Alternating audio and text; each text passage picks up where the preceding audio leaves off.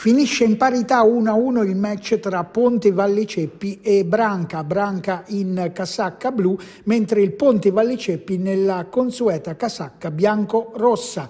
Andiamo subito con le riprese di Luca Melograno ai highlight del match. Subito in avanti il Ponte Valle Ceppi con questo tiro della distanza, respinge corto la Pazio, ma il tiro eh, del Tapin finisce alto sopra la traversa. Poi si vede il Branca in avanti che recrimina un calcio di rigore per un presunto fallo di mano mano in aria. Rivediamo l'azione a rallenti e sembra proprio che ci sia il tocco di mano. L'arbitro lascia proseguire. Poi in avanti Branca con questa demi-volée para il portiere Biscarini.